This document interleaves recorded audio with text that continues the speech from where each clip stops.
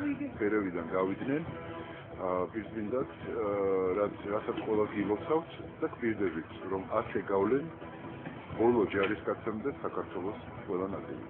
რატომ დაბრუნდნენ გასული რუსი სამხედროები პერევში და რატომ ამაგრებენ პოზიციებს? გახდა თუ არა რუსული ჯარის დაბრუნების მიზეზი საქართველოს ხელისუფლების განცხადებები. ოპოზიცია ამბობს, რომ პატრიარქის გაკეთებული საქმე პრეზიდენტმა გააფუჭა. რასკო პრეზიდენტმა პერევიდან რუსის ჯარის გასვლასა და შემოსვლას შორის. რამდენიმე საათიან შუალედში. რამდენიმე დღის წინ. ჩვენი პატრიარქი, ჩვენი ეკლესიის დინამტყოლი მიდიოდა რუსეთში, წასვლის წინას ღამე.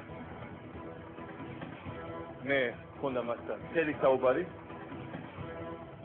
ჩვენ შევთანხმდით იმაზე რაც ძალიან უნდა დაეყო მას რუსეთის პრეზიდენტის შესახვედრად და მე მადლიერი ვარ იმისათვის რომ ყველას ჩვენი ნაზრი მას სიტყვა სიტყვით გადასცა და თავისი აზრი მოახსენა. იმ ქვეყანას რომელსაც განახორციელა საქართველოს ტერიტორიის ძალიან მნიშვნელოვანი ოკუპაცია და აგრძელებს ამ ოკუპაციას. ჩვენ ველით რომ როდესღაც რუსეთი და იმედია როდესღაც იქნება უფრო ადრე ვიდრე გვიან დაიკავებს საგიაზრო პოზიციას და მიხვდება რომ ის რაც არ გერგება არ შეგერგება. როდესაც ზოგადად კეთდება განცხადება მათი მხრიდან რომ ისინი სადარიან დააბრუნო ევნილები თავის სახლებში იმედია რომ ეს რა თქმა უნდა არის სიმართლე მე უბრალოდ მინდა შევახსენო ყველას რომ ეს ჩვენი საზოგადო ხალხი გამოყარა იქიდან რუსეთის შეერაღებულმა ძალებმა. ჩვენი ხალხის მიერ მიტოვებულ სახლებში დღეს ჩაასახლეს რუსი ოფიცრები მიწასთან გასწორებულ თამარაშეში ქურთაში მოსკოვის მერი ლუსკოვი აშენებს რუსული სამხედროებისთვის ახალ მიკრორაიონს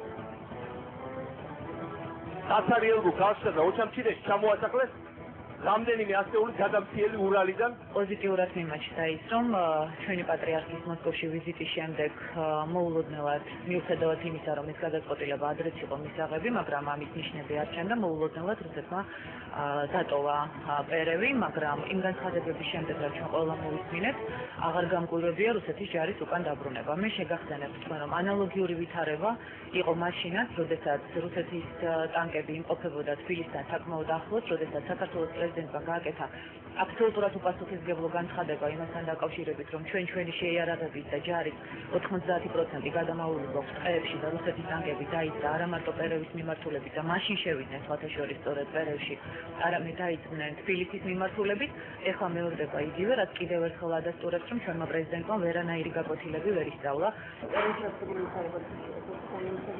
გუშინ გასასწრებით გამოდების ძალების შევიდა აქციონის ევროკავშირის ელჩები რუსეთმა და გასაკვირი აქ რა არის ადამიანს სააკაშოს თავი გონია აბსოლუტურად სხვა რეალობაში და ეს საქართველო კიდე საერთოდ არ აინტერესებს მე. საკმოხა პერიოდში მე გავიმეორებ ეს გაგიგმილი პროვოკაცია იყო.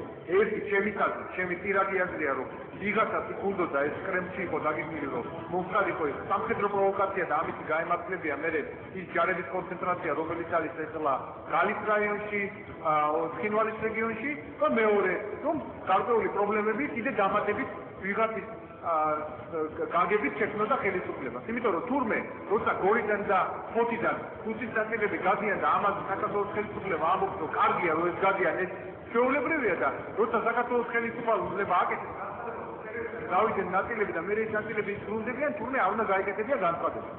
შეულებრივია ანუ თურმე რაღაც განცხადებებმა მოაბრუნეს. აი ესეთი მარტივი ჯელობა არის ქართულ საზოგადოებაში, რომ თურმე აი განცხადების გამო დაბრუნდა რუსი ჯარისკაცი პერეში. ხალხს მე ხედავ რომ ხდება დაპირისპირების სისტემა პრეზიდენტისა და კათალიკოს პატრიარქის. მე მოუწოდებ პოლიტიკურ პარტიებს და ლიდერებს თავი დაანებონ ამის სისტემას, იმიტომ რომ ქვეყანას არაფერ კაცად მოუწევს.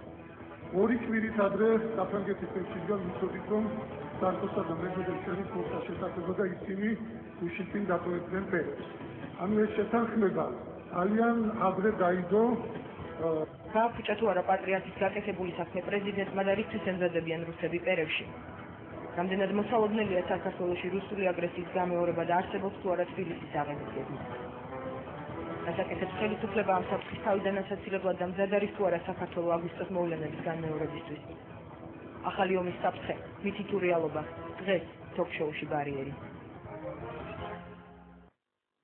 საღამისთობის მოგესალმებით ტელეკომპანია კავკასიის პირდაპირ ეთერშია პროგრამა ბარიერი. მე ალექსანდრე ელისაშვილი გახლავარ ჯურნალისტი გადაცემას დღეს მე გავუძღვები ამოხდა პერევში რატომ დაბრუნდნენ მოულოდნელად რუსები მოულოდნელადვე გასული რუსები ამ სოფელში და იყო თუ არა რუსების ეს ქცევა და ეს ქმედება რეაქცია მიხეილ სააკაშვილის განცხადებაზე ყოველ შემთხვევაში ბევრი ყველაფერ ამაზე მიუთითებს. დაიბრალა თუ არა მეცით რუსებთან შეხვედრაზე საქართველოს პრეზიდენტმა პატრიარქის მიერ მოსკოვში მისწეული შედეგები თუ საკითხის ასე დასმით ჩვენ საზოგადოება ან ყველა ვინც საკითხს ასესვავს გლუბ დააპირისპიროს პატრიარქი და საქართველოს პრეზიდენტი როგორც ითქვა პარლამენტის სხდომათა დარბაზში დღეს.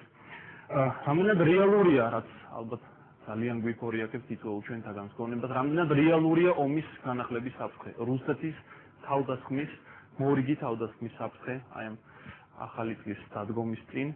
და რასაკეთებს ხელისუფლება იმისთვის რომ ჩვენი უსაფრთხოება ახლა მაინც იყოს სრულად ადეკვატურად ჯერ უნდა დაცული? ამ და არა მხოლოდ ამ თემებზე ვისაუბრებ დღევანდელ გადაცემაში რომლის სტუმრებსაც ახლა წარმოგიდგენთ. თორნიკე შარშენძე, კობალი კლიკაძე, გიორგი ჩხუბიანიშვილი შოთა მალაშკია, ზვია ძიძიგური, მოგესალმებით, დიდი მადლობა ჩვენთან მობრძანებისთვის, მივესალმებით დარბაზში მსვლომ ახალგაზრდებს, ბატონ შოთა. საჯარო მოხელე სახელმწიფო მოხელე ბრძანდებით საქართველოს პარლამენტის წევრი პირველ რიგში თქვენ კითხოთ რა ხდება ახლა ამ წუთებში პერევში? რა მოხდა რამდენიმე დღის წინ? როდესაც ძალიან გაგვახარეს წასვლით მაგრამ ძალიან დაგვამწუხრეთ უკანოსვლით და იყო თუ არა ეს რუსების რეაქცია მიხეილ სააკაშვილის. აი ბევრი რო ამბობს რომ მოუზომავ განცხადებაზე ეს რო ყოფილიყო რუსეთის ერთადერთი შემთხვევა, როდესაც რუსებმა თავისი სიტყვა დაარღვიეს და საერთაშორისო დონეზე დადებული ხელშეკრულება არ შეასრულეს, მაშინ შეიძლებოდა ამ დაგვარი ინტერპრეტაცია ვინმეს გაეკეთებინა, მაგრამ რუსებისგან პირობის შესრულებას მე მგონი უკვე აღარავინ არ ელოდება, მათ შორის საფრანგეთის საგარეო საქმეთა მინისტრი, რომელმაც განაცხადა, რომ რუსები ერთს გვეუბნებიან საქართველოსთან მიმართებაში და არღვევენ ის ტერიტორიულ მთლიანობას, მეორედ გვეუბნებიან ევროპის უსაფრთხოებასთან დაკავშირებით და გვიმან გვიზადებენ, გვიმიზნებენ ისკანდერის იარაღს, მესამედ გვეუბნებიან ირანთან მიმართებაში და აიარაღებენ ბირთვული იარაღით, ამის გარდა რუსეთმა ხელი მოაწერა, თქვენ გახსოვთ, სარკოზი მედვედევის ხელშეკრულება, რომელშიც საუბარი იყო, რომ საერთაშორისო კონფერენცია გამართებოდა ჟენევაში სწორედ დევნილების დაბრუნებასთან დაკავშირებით და ზოგადად უსაფრთხოებასთან დაკავშირებით.